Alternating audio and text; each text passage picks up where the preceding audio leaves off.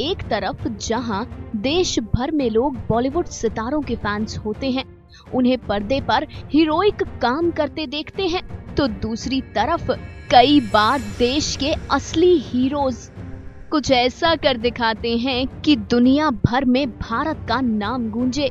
जी हाँ यही कहलाते हैं हिंदुस्तान के रियल नायक। ऐसी ही एक हीरो हैं कश्मीर की जर्नलिस्ट यना मीर।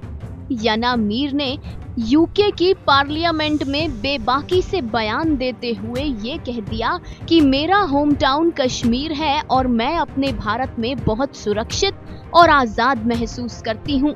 यना ने यूके के एमपीज के सामने कहा कि मैं पाकिस्तान की मलाला यूसुफजाई नहीं हूँ, ना ही मैं मलाला बनूँगी। क्योंकि मेरा देश मुझे आज़ादी देता है। यना ने कहा कि मैं कभी भी आपके देश में आकर शरण नहीं मांगूँगी। जी हाँ अपने कश्मीर पर अपने हिंदुस्तान पर। हिंदुस्तानी होने पर किया यना ने गर्व। I am not a Malala Yousafzai.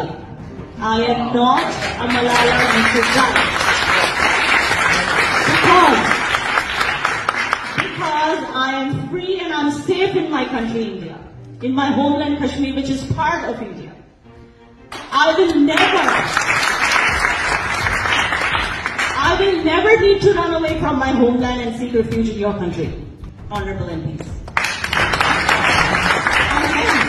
I will never even ever be a Malala Yousafzai.